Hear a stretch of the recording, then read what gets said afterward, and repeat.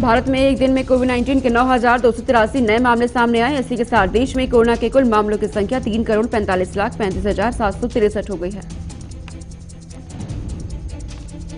वहीं इस महामारी के कारण इस दौरान चार सौ सैंतीस लोगों की मौत हुई, जिससे कुल मौतों का आंकड़ा चार लाख छियासठ हज़ार पाँच सौ चौरासी पहुँच गया।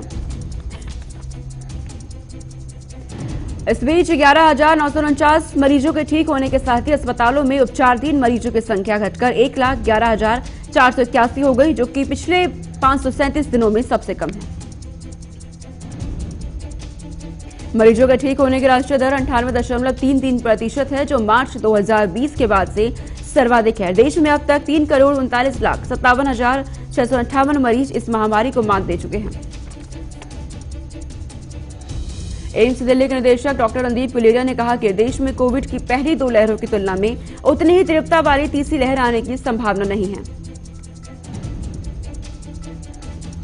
उन्होंने कहा है कि इस समय संक्रमण के मामलों में इजाफा नहीं होना, ये दर्शाता है कि टीके अब भी वायरस से सुरक्षा प्रदान कर रहे हैं और फ़िलहाल तीसरी बूस्टर खुराक की कोई ज़रूरत नहीं है।